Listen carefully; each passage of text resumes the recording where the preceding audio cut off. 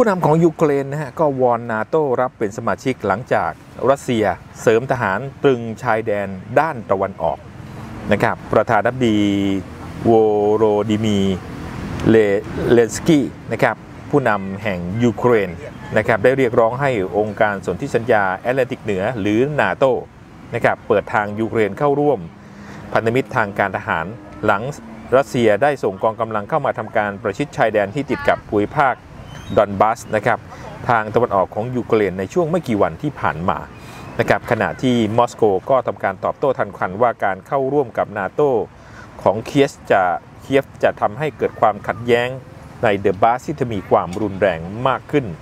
ในขณะที่สหรัฐอเมริกาตอบรับคำขอของยูเครนอย่างระมัดระวัง ซึ่งสะท้อนให้เห็นว่าอเมริกันยังไม่ต้องการที่จะ